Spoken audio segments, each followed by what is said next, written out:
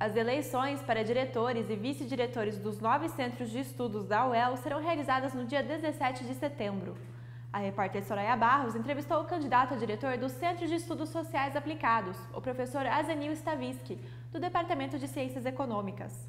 O professor e o candidato a vice, Carlos José Cogo Milanês, do Departamento de Direito Público, formam a chapa professor Azenil e professor Carlos Milanês.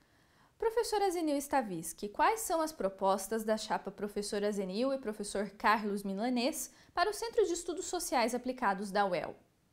Pois não, é, a nossa chapa ela surgiu do interesse de, de, vários professores, funcionários, etc., que praticamente fomos lançados, é, fomos concorrer, mas acabamos ficando como chapa única. Né?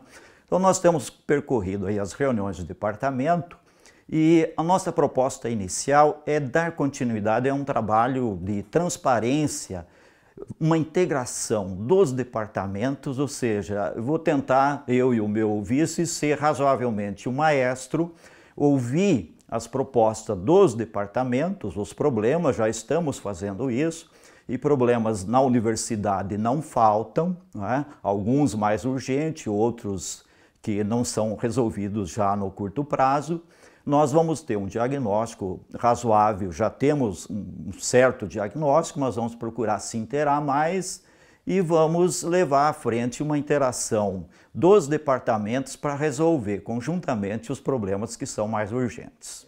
É, nós temos também como meta o apoio ao estrito senso, a pós-graduação estrito senso, é, na melhoria da qualidade, principalmente, né?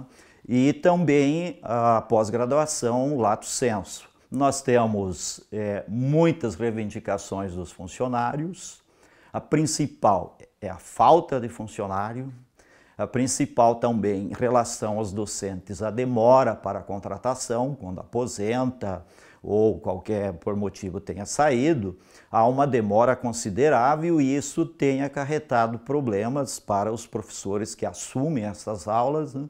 E a carga horária do centro César me parece que é muito acima, digamos, da média da UEL. Então são coisas que nós vamos ter que estudar para resolver.